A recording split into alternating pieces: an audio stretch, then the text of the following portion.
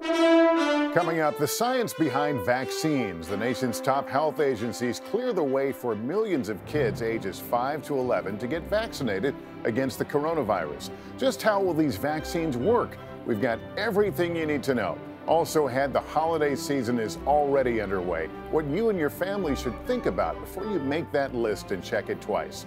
Then, hot, hot, hot. Just what are volcanoes and why do they erupt? We'll go down below the surface and explain. Then animal cams, why they're such a big draw. Plus, meet Biscuit. He's a little guy with a big mission and the newest member of the Washington Capitals hockey team. And Crayon Activists will introduce you to this 10 year old who turned her love of coloring into a project with a very important message. You can do anything you set your mind to, and if you have a problem, it's not just going to go away. You actually have to do something about it. Her inspiring story coming up. This is NBC Nightly News, Kids Edition. Welcome back to Nightly News Kids Edition. I'm Lester Holt, and it's always great to be with you guys. I hope you all are enjoying the fall and having some fun. We've got a really terrific lineup from volcanoes to animal cams to this little guy named Biscuit who is training to serve veterans. Plus, it's time to turn those clocks back. We'll explain why we have daylight saving time. And a little later on, we can't wait for you to meet this 10 year old activist. But let's begin with one of the top stories we've been following this week, and that's the pandemic and the road to recovery. There's been a lot of talk the last several months about vaccines, both for adults and kids, and it got us thinking what exactly is the science behind vaccines and how do they work? Our pal Dr. John has the very latest.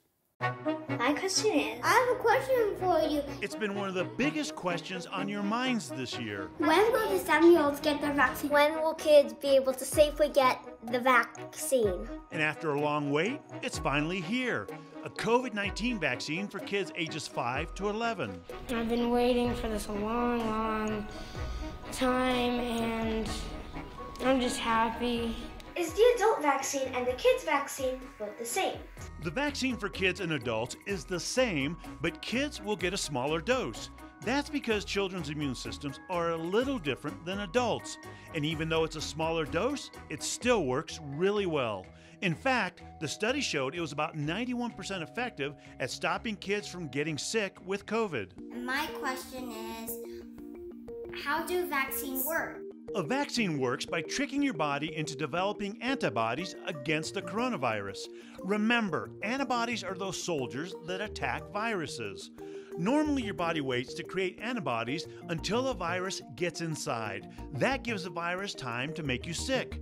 But the vaccine helps your immune system make an army of antibodies without having to see the coronavirus. That way, if the coronavirus does get in, the antibodies recognize it right away and can fight it off quickly before you get sick. When little kids are eligible to get the vaccine, do they need one dose or two doses? For this vaccine, kids ages 5 to 11 will need two doses, and they'll need to get them three weeks apart. And reminder, it takes the vaccine about two weeks to work after your second dose. That's when you're considered fully vaccinated. When the shot for for kids come out, um, what is the side effects for the things that you could get in the shot? Kids may experience side effects like a sore arm, fatigue, or a headache, but these should only last for a few days. I'm not scared, but I'm not excited because I don't, um, because I, I don't want it to hurt. It was just a sharp pain, and then it, and then it started feeling better. It may hurt a little, like a little pinch on your shoulder, and some of you may even be a little afraid of needles. But here's a secret I'm afraid of needles too. But I've got some tips for you that helped me when I got my COVID vaccine. First, don't look at the needle when you're getting the shot, look somewhere else. And you can bring a stress ball or something you can squeeze or play with in your other hand. That way you're distracted.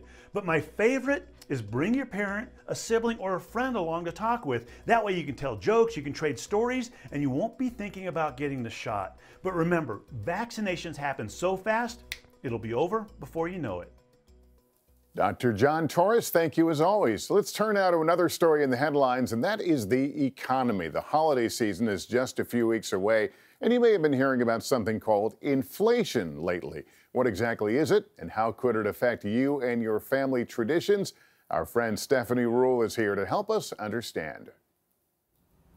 Hey there, Lester. I'm here with my daughter, Drew. And with the holidays just around the corner, parents and gift givers are seeing higher prices on just about everything. And with Christmas and Hanukkah and other winter holidays coming up, you might have already written your wish list. But this year, toys, clothes, and even decorations will be more expensive, and that's because of inflation. Inflation is a grown-up word for when things cost more in a short period of time. So what's causing it? Inflation is caused by supply and demand issues. So if a lot of people want one item, like a Christmas tree, and there's not enough to go around, that can cause the price to go up. So what does that mean for the holidays? Well, it means it costs more to make the presents, which means your parents are going to spend more for each item on your wish list, which means they're going to be paying a lot more these holidays.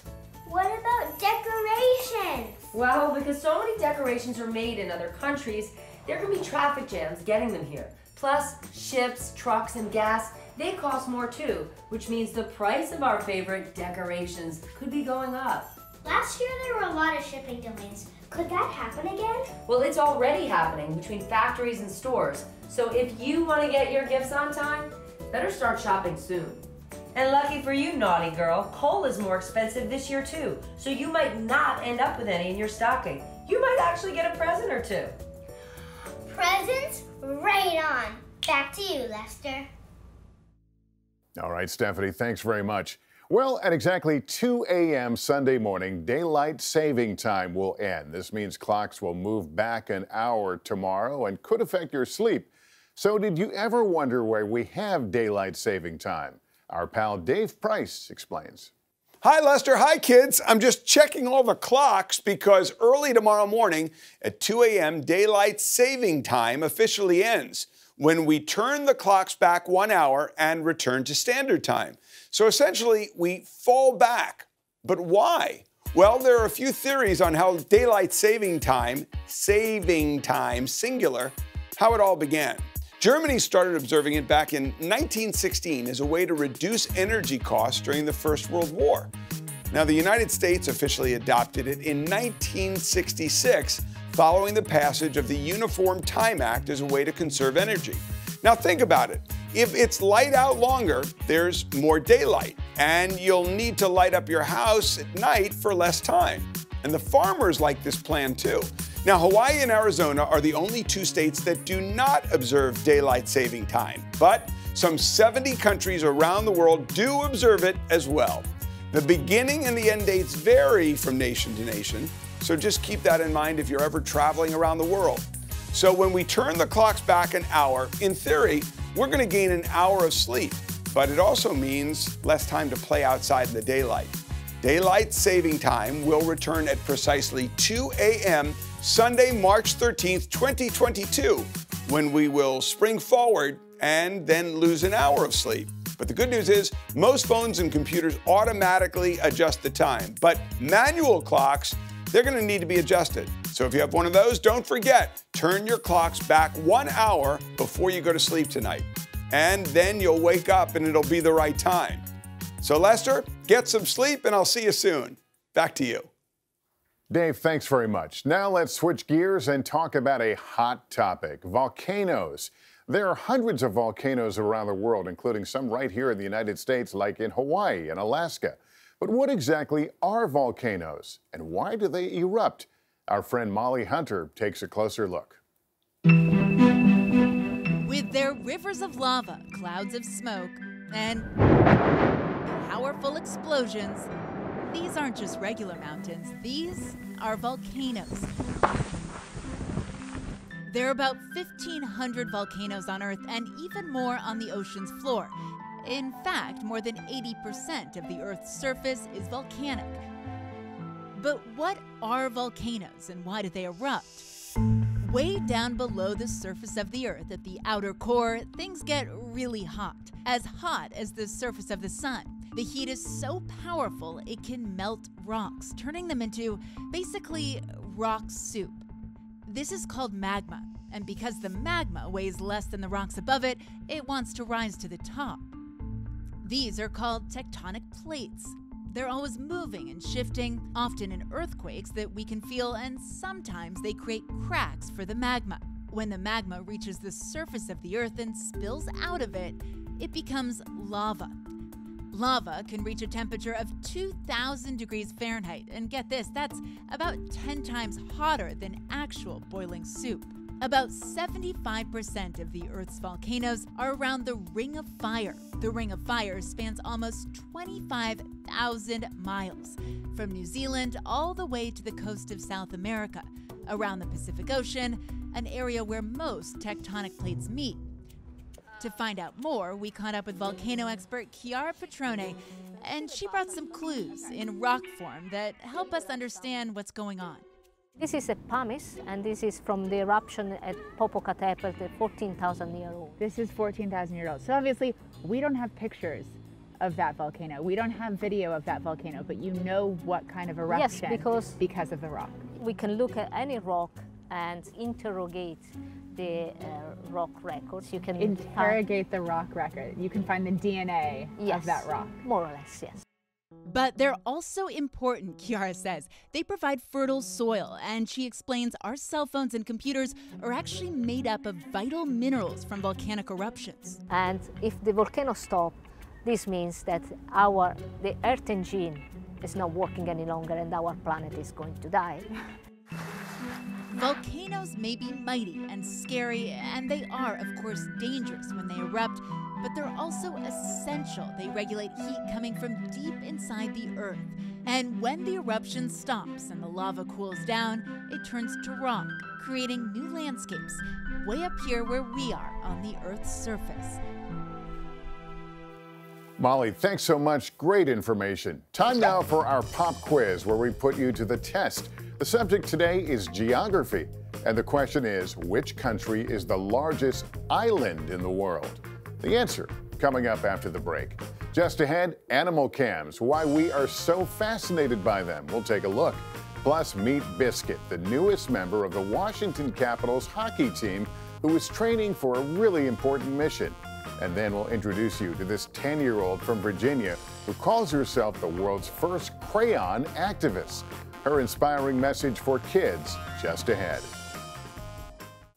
Welcome back to Nightly News Kids Edition. Let's get the answer to our pop quiz now. The question Which country is the largest island in the world? The answer Greenland. Greenland was a Danish colony until 1953 when it was redefined as a district of Denmark. The country has its own government and some 56,000 people live in Greenland, mostly around the coastal areas, since a good chunk of Greenland is covered in ice and snow. And in case you're wondering, Greenland is three times the size of Texas, so it's pretty big. Well, Veterans Day is November 11th, and the holiday is a time for us to honor our veterans of all wars. And there's one little guy in Washington, D.C., who is training for a big mission to help veterans. His name is Biscuit, and he's got game. Our pal Kevin Tibbles now with the story. There's a new teammate on the NHL's Washington Capitals bench. He's just a little guy. In fact, he only weighs 30 pounds. But three month old Biscuit is a real winner. Just ask Caps right winger Garnet Hathaway. Yeah, Biscuit as a new teammate is amazing. Um, and just whenever you enter the room and you see him, there's a smile on your face immediately. Biscuit, named after a hockey puck, is in training too to become a service dog helping military service veterans in need. Good boy. The Capitals teamed up with the charity America's Vet Dogs to help publicize the organization's work matching vets with four legged friends. Dogs can help humans who are hurting. So our dogs, are, you know, have outstanding training. You know, they work with individuals have visible disabilities and invisible disabilities. So, you know, whether somebody's missing a limb or has PTSD, your dogs have special training for that. The organization pairs about 100 dogs annually with veterans, some who suffer from PTSD or post-traumatic stress disorder, a mental health condition that's triggered by a traumatic event. Dina Stone is a puppy raiser She's sort of like Biscuit's teacher and babysitter all in one until he's old enough to be fully trained. What do those eyes do for people who need assistance? I think those who need assistance look into the eyes of, of their dog and I just think they can easily put them at ease. And maybe if they're having a bit of a tough moment, that dog really looking at them and connecting with them, they understand that's what it's all about. And I, I do believe that the, the heart rate, the blood pressure probably all lowers just a little bit. Biscuit is the second dog the Washington hockey team has supported. The first was named Captain. I think I am the luckiest person alive. And Captain now helps Marine Mark Wathney overcome the many traumas that followed him home from the battlefield. A dog will always give you unconditional love, regardless of anything that you've done. They won't judge you. Dog's not going to ask you any questions. No, it'll just give you the undying love. And believe me, when Biscuit is surrounded by kids, in this case, the children of Capitals players, there's more than enough love to go around. I think he's really, really funny. You think Biscuit's really funny? So let's wish Biscuit and the Capitals the best of luck, training together to win the Stanley Cup and lend a veteran a helping hand or paw. It's an all star lineup. Kevin Tibbles, NBC News, Washington. Kevin, thanks so much. Biscuit is definitely an all star and an absolute cutie. Well, speaking of cute, animal cams at zoos across the country have captured our hearts this past year, from pandas to koalas and beyond. Our friend Kerry Sanders takes a look. Lester, it's one thing to see a picture of an animal in a book, but what about watching them living their lives? Perhaps the most popular camera in the world is the Panda Cam. Pandas are clearly the star attraction at the Smithsonian's National Zoo in Washington, D.C. Worldwide, folks tune in to watch moments like this a panda in a tree, and then, just like a kid who miscalculates the climb, wait for it, boom. Unpredictable, unexpected, and fun because what just happened happened live on one of the zoo's 41 panda cams, streamed to the internet for anyone to watch. Even if I'm not around the cams, if I'm, say, standing in the back area cleaning or something and I see something fun like that happening, I will run to the cam room so that I can make sure the cams are aimed um, not only for me, but I want the public to be able to see those things as well. An estimated 2 million people visit the National Zoo and the pandas every year. But on an average day, 90,000 more show up via the internet, clicking in, sometimes for hours, to watch the pandas and their engaging antics.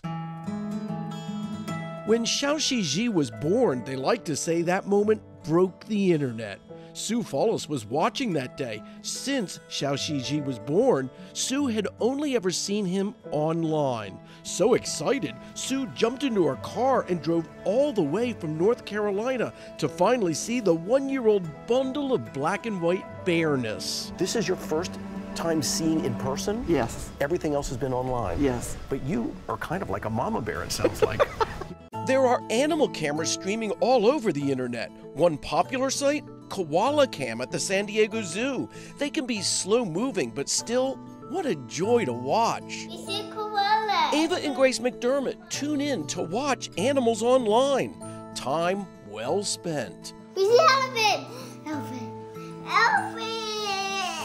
That's so cool. Eagle Cam in Miami is not at the zoo. It's in the wild where the unfiltered moments of life unfold in real time. I would encourage kids to sit there, watch it, and be patient because the behaviors change all the time and there's no way to predict. You know, the, the one thing we say, the only thing predictable about these animals is that they're unpredictable. So you never know what's going to happen. There are so many animal cameras online. Just search live animal camera and see what you can find.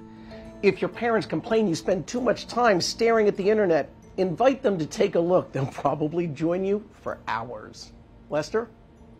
All right, Kerry, thanks so much for that. And finally, in our Inspiring Kids series, one 10 year old from Virginia turned her love of coloring into a personal mission to make sure other kids feel included.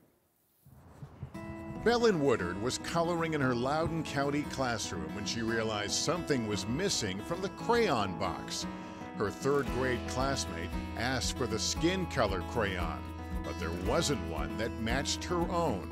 And I heard my classmates call the peach crayon the skin color crayon, and yeah, I know that it is a skin color, but it's not the only one. And so I kind of felt confused. So she decided to do something. I'm the world's first crayon activist, and what an activist is to me is like someone who's active in making a change. And I call myself a crayon activist because I like to say I'm changing the world one crayon at a, at a time. Thanks to Bellen's creativity and drive, she and other kids now have more options. If I were to color myself right now, I would use Skin Color Sahara. Bellen created the More Than Peach Project, her own line of crayons that reflect multiracial skin tones. So in this pack I have Skin Color Denali, and then Skin Color Serengeti, Skin Color Andes. The 10-year-old designed 12 colors. Each have different names with skin color in the title, so kids know that each one is the skin color crayon. And Crayola has since followed Bellen's lead, creating its Colors of the World box last year. The sixth graders' More Than Peach line also includes colored pencils, sketchbooks, and clothing. She even has a book coming out next summer. I wanted to make an art supplies brand that let kids know that not only the peach or the brown is always skin color. There's all these different shades and and you just want to make sure that when you're coloring you can see you and not someone else. Bellen hopes her message of inclusion inspires other kids. You can do anything you set your mind to, and if you have a problem, it's not just going to go away. You actually have to do something about it, and who knows, there could be more people who has that problem, and you're helping not only yourself, but helping others. And joining us now is Bellen Woodard. Bellen, thank you so much for joining us. And I have to tell you, I'm really, really proud of you and, and think it's fascinating what you've done. Thank you for having me. Yeah. What have the what's the reaction been like from other kids so far?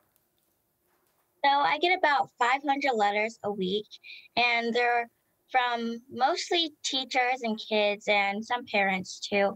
And they're saying, um, well, kids sometimes say, "Oh my gosh, Bella, you're my hero," or "My mom um, just bought me your crayons," or um, teachers are saying, "I just bought my students these crayons," and they're so excited, and they're all just really positive responses, and I'm so happy when I get them because it lets me know that I'm on the right track and I'm making a difference. You sure are. And so let me ask you what your message is to kids who are watching my message is for kids who are watching are to is to well if there's if you see a problem do something about it because it's not just going to go away on its own.